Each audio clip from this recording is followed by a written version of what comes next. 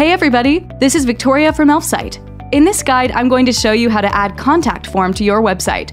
It will only take two minutes, and you don't need any specific skills to do it. First of all, let's go to elfsight.com and choose the contact form widget in the menu list. Click Create Widget. You can find the direct link in the video description. So, let's create your widget. Begin by choosing a template that suits your case best.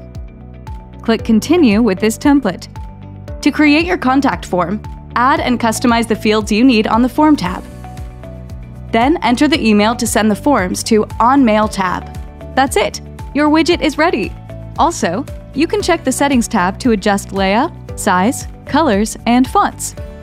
Click Join to install to add the widget to your website. Log in or sign up to Elfsight Apps. This is free, no credit card required.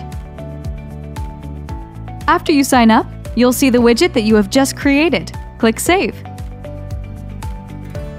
The next step is to choose your subscription plan. You're very welcome to start with Lite, but keep in mind that your 20% discount is valid only for 24 hours. Click on the code to copy it and go to your website's admin panel. After you've logged into your Blogger admin panel, go to Pages and select the required page. Press HTML button to open the page's HTML editor. Next, paste the widget's code to HTML source editor window and press Update.